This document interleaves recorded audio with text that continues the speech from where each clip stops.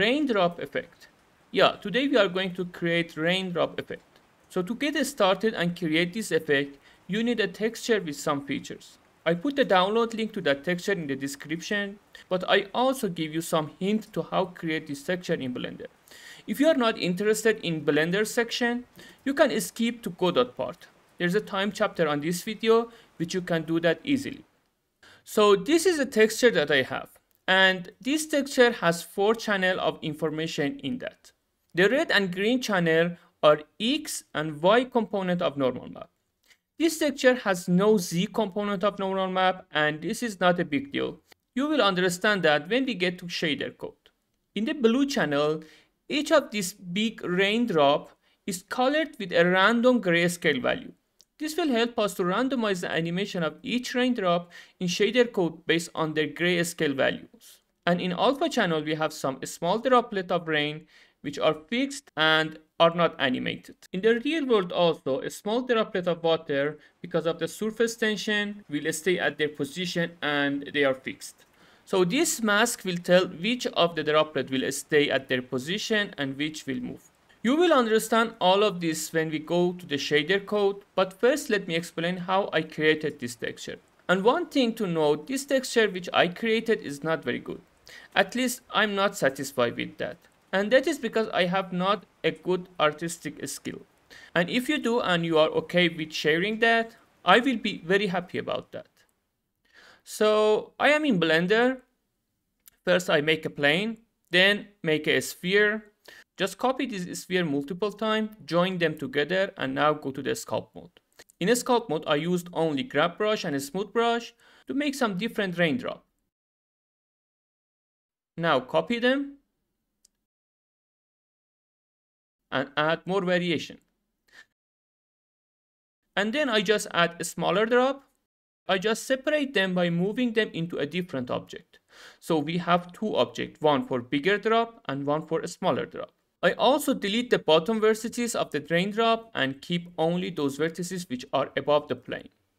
And I create a material for my plane, create the image texture in that, and select the raindrops first and my plane last and I bake the normal map texture. Well, the first part is done, we baked the normal map. Just save this image. So now we should generate a random grayscale color for each big raindrop. Fortunately, with the help of the geometry node, that is possible. So create a new geometry node for bigger drop, and in a geometry node, add mesh island node. This node will give you an index number for each mesh island, and we are going to use that. After that, I just create an output for my geometry node. Basically, we want to calculate a random number between 0 and 1 for each island for using that in Blender Shader. I am going to create a float output node and I call it island random. Well, now go to the modifier tab, output attribute, and here just create a new attribute for our output. Create a random value node to generate a random number. I don't want a raindrop with the grayscale value of the 0, so I put the minimum value to 0.1 and the maximum value to 1. And then go to the shading tab. Here I delete the principal BSDF node and I add a emission node and then I added an attribute node. And in the name section, just type island random. Finally, connect this to the emission node. And we have a different color for each island. Just bake the emission of the big raindrop in the texture. Here I have some problem with some of this big drop and I will fix them with GIMP.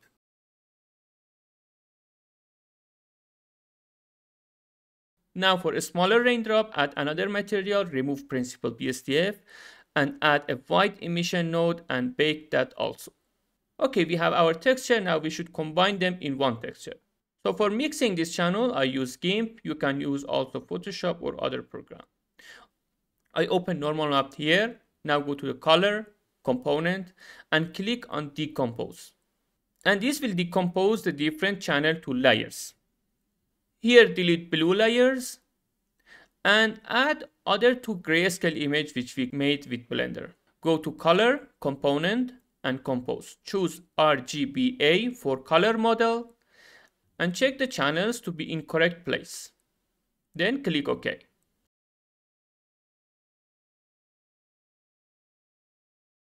Just please note when you want to save that, just check save color value with transparent pixel.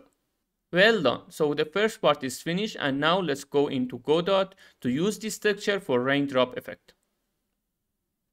So here I am in Godot. Here I just create a simple shader code and this is my base texture. I define sampler2D uniform for albedo, normal map and roughness of my base texture. Down here, I just scale my texture five times. And then I just set my albedo, normal map, and roughness values. I hope up to this point, everything was clear. Now let's add raindrop effect. Here I just define another sampler2D uniform for my raindrop and I set the drop texture that I created in Blender to it. Here I read from that texture and I put the result inside a vector4 variable which is called drop. Now I want to create its normal map. Well, as we know, the first and the second component of our uh, drop are x and y of the normal map. And I put the z component to be 1. Well, you might ask that is not correct and we don't put the exact value for the z component. But in normal maps, z component are mostly close to 1. And now setting that to 1 is not a big deal. So it just works and that is good. Now for testing, set normal map to drop normal map.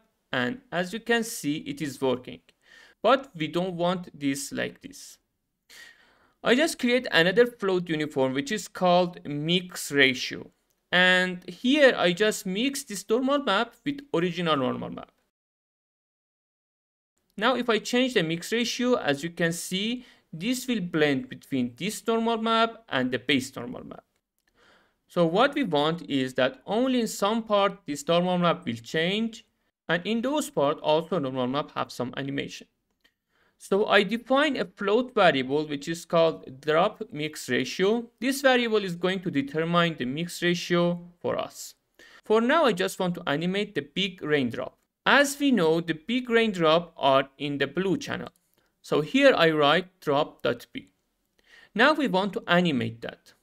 The way the raindrop works is that at first the rain fall on the surface and then it is going to absorb slowly on the surface of that material. So at each time this rain is going to decrease its effect. For that I just subtract time from that. And I multiply time by a smaller number to reduce the speed of the animation. We want to mix ratio be always between 0 and 1 so we use fract function here to do that.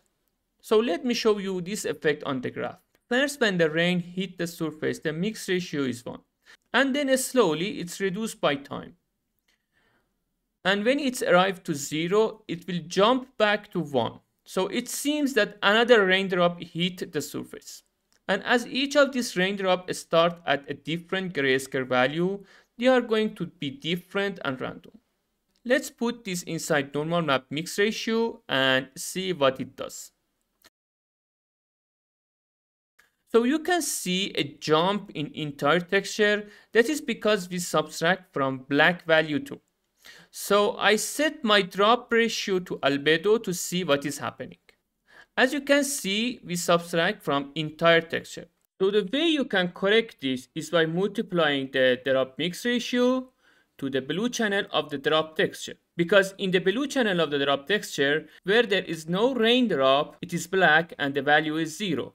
As you can see by multiplying these two mix ratio, we also change the overall mix ratio for raindrop in a random way. I mean, in this case, some drop is going to change between 0.5 and 0, other drop is going to change between 0.8 and 0 and so on. And in this case, it's look good, so I leave this like this. So now to add the fixed drop, just add alpha channel to this. Very good. Now let's correct roughness with this mix ratio. So as you know, the surface of the water is smooth. So I change the value of the roughness for water drops to zero.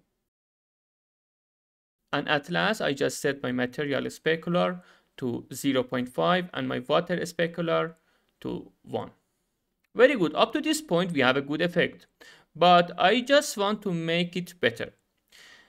If you look at some real world example of raindrop, you can see the raindrop is going to modify the texture behind them. I'm not going to create this effect exactly, but I will create something similar to that. Here we are going to modify the texture by a random number. So I define a noise texture and I read the value of the noise texture here.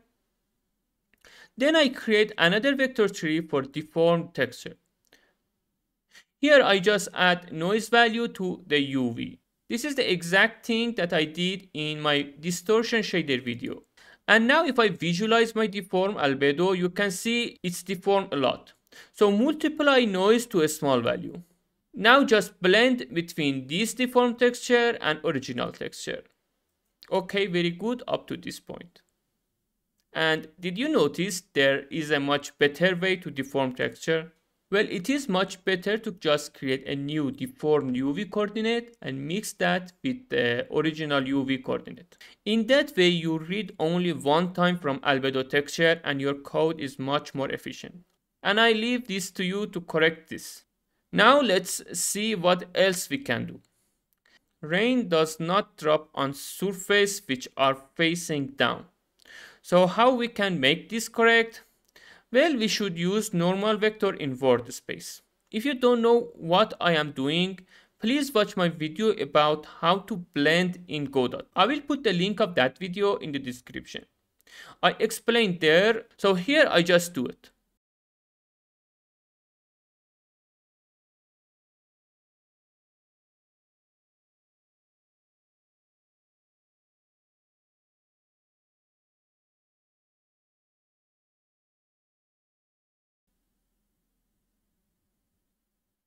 Well, now everything is working as we want. And I hope you like this video. Thank you for watching and till the next video. Bye.